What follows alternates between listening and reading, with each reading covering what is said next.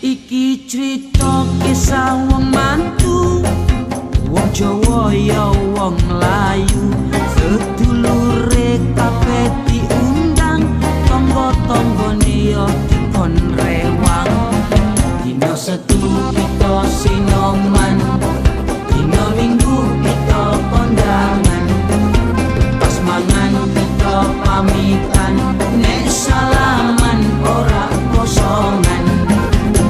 kondangan kondangan kondangan. Nyewa kemayo nyewa pinggan. Kursi meja kanggo jagongan. Kemai kawe payungan. Ora kene panas ora kene hujan.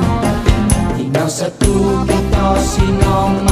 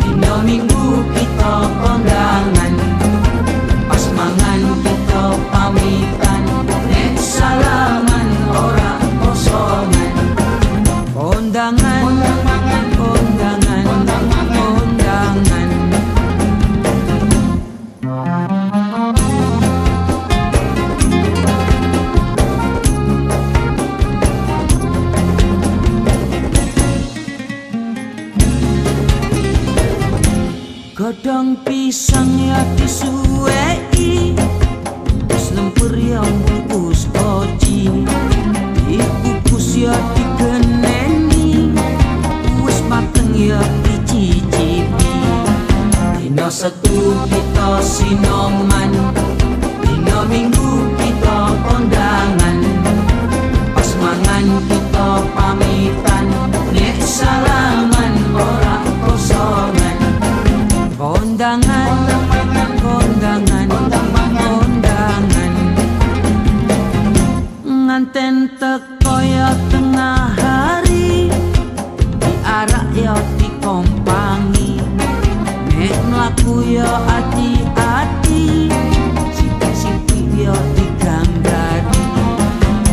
setu kita sinoman Tinggal minggu kita kondangan. Pas mangan kita pamitan Nek salah